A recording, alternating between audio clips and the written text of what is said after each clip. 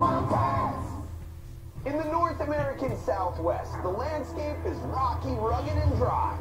We're here in the Sonoran Desert, the land of the saguaro cactus. It's us, the Kratt Brothers. I'm Chris. I'm Mark.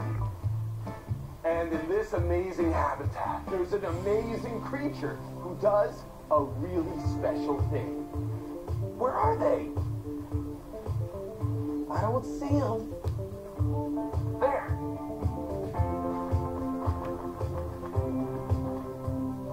Oh, Harris's hawks. Wow. We found one. And that means there are others around. Because Harris's hawks hunt as a pack, just like wolves. They're usually in groups of about two to seven individuals. So let's see how many Harris's hawks are in this group. Martin, behind you. Well, that makes two. Chris, on your left. And another. Now we have three Harris's Hawks. One, two, three. There's at least three in this group. Now that is a pack, just like a wolf.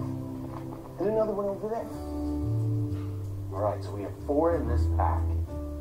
This is a raptor pack. Harris's Hawks. The pack hunters on the wing. They are exceptional because they're one of the only raptors who hunt in a group and coordinate and cooperate together. Moving. I, I gotta pay attention. Imagine if we had the power to fly through the desert. Imagine if we could fly like a pack, like a team of hunting raptors. Imagine if we had Harris's hawk powers. What if?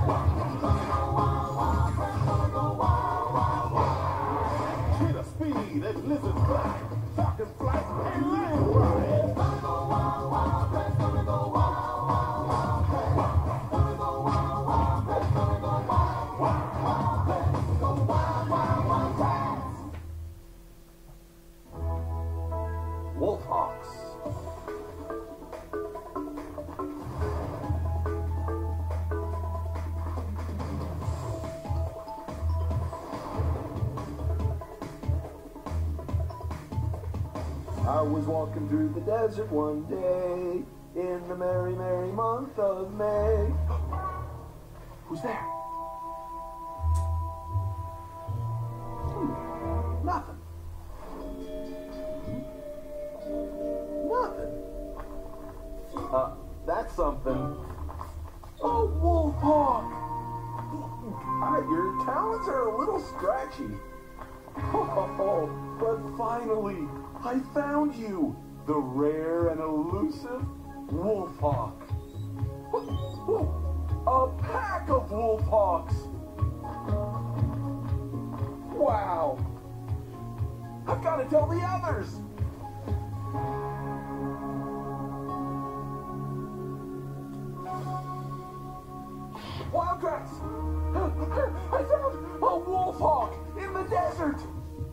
No wolf hawk in the desert. Wait, there's no wolf hawk anywhere. Oh, yeah, there is. Let's see. Here in the Sonoran Desert, there's Buteo jamaicensis, aka the red-tailed hawk. There's Accipiter cooperi, Cooper's hawk, and Parabuteo unicinctus, aka the wolf hawk.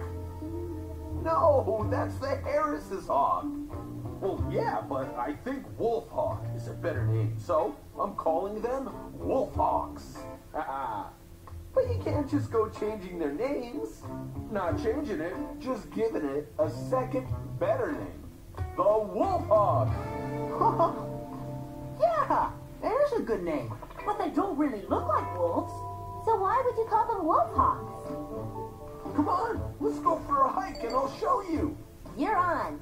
Yeah, I want to see how a bird can be a wolf. I'm not too sure I do. What's he gonna do next? Rename a giraffe? The tree-necked goat? this ought to be good.